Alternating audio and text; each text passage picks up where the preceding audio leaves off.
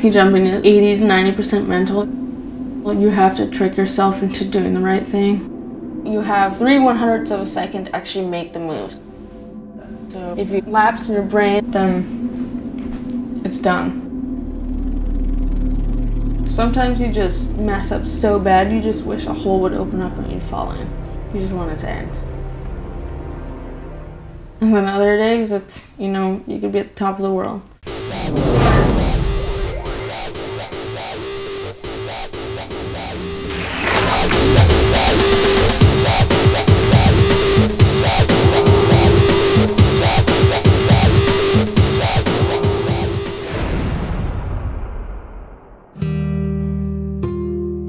Yeah.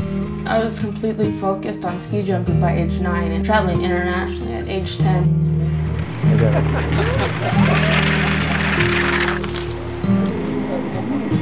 Jesus! I started ski jumping when I was 11 and a half years old. That's awesome. I really didn't care about literally anything else. 11 year old Lindsey Van won her class in a demonstration event at the World Ski Jumping Championship. My goal is to make the Olympic team 2002 for girls.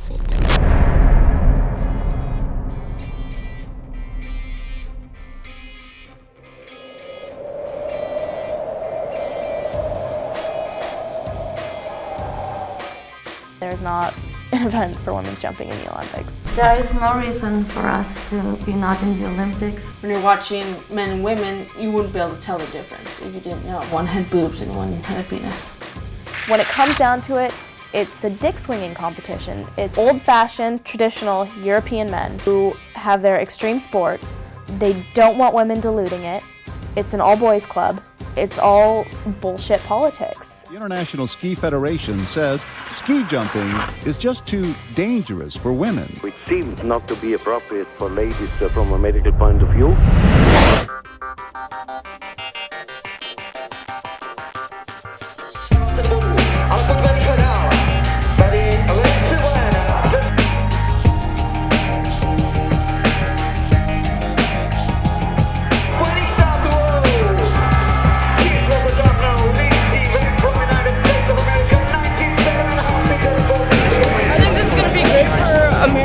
American ski jumping and women's ski jumping. Everything the boys have, I think we eventually should have. Representing the United States of America, Lindsey Van! Men and women are equal, and we can jump together, and it's not that different. This is the first American ever in the history of ski jumping to win a medal.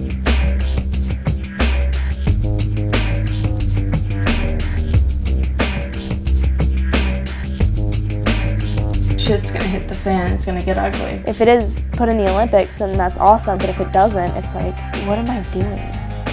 I want to make this right for future girls in the sport. We said, don't make too much noise now.